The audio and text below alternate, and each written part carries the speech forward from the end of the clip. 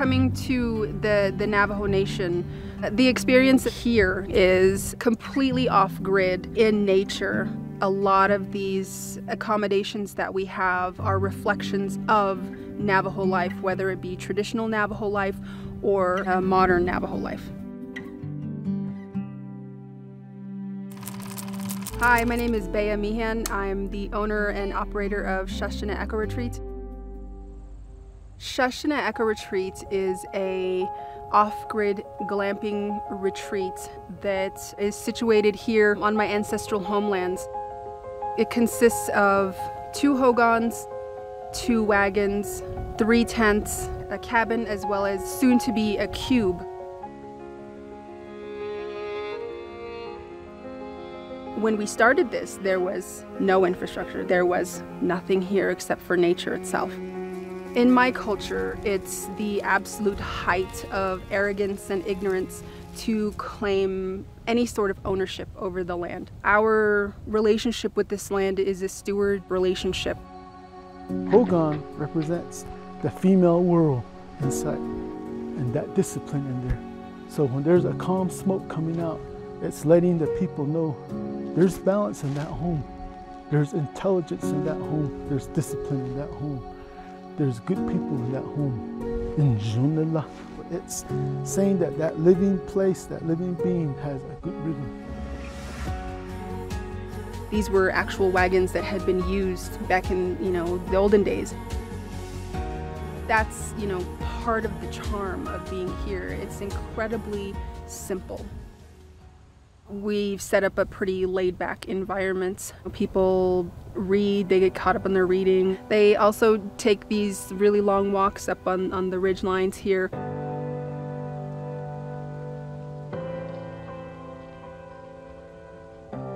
When you come to these canyons, you start to feel that you can finally breathe.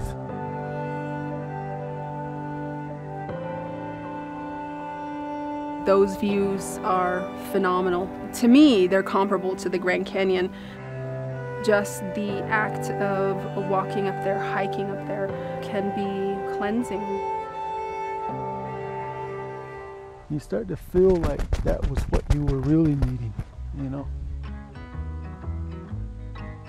We highly encourage digital detox. The desert has a lot to offer. You just have to sit down and, and be a part of it.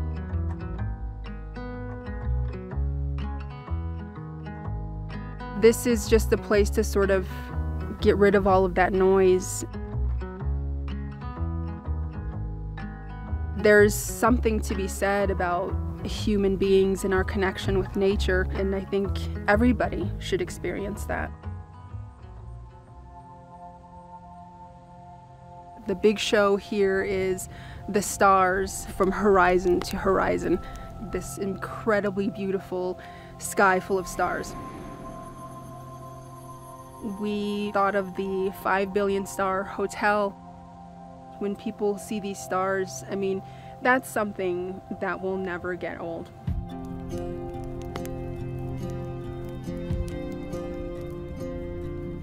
When people sit by the, the fire or, uh, you know, sit out and look at the stars, you know, it's just a human connection. That sound of that fireplace, that language right there, the first language that came before human language, the language of the holy people. We hear it in the wind.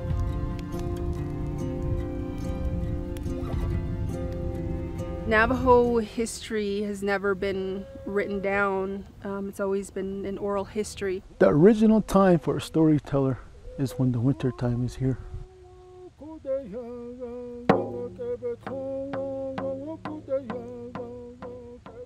And we share our world, share our culture, share our songs, share our story to bring harmony and peace within traveling.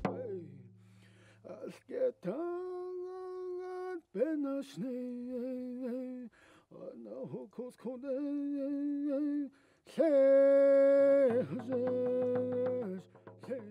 point of the song is that we're wishing all of us a good travel, a traveling song, a horse song.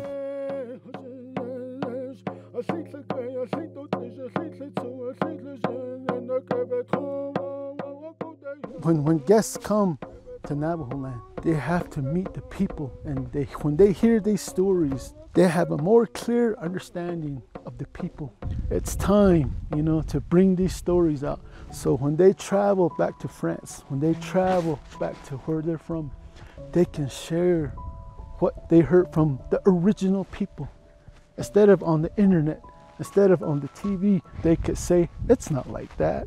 I spoke to a Navajo storyteller myself. Right now, there's this sort of resurgence in Native entrepreneurs, Navajo entrepreneurs here in this particular area. Getting recognized for what we do here is especially important because that puts sort of this spotlight on what we can do, how well we can do it, because for so long we've been invisible. And so we're going forward in our own way with our traditions attached to everything that we do. And, and it's exciting, and, and I'm really proud to be a part of that.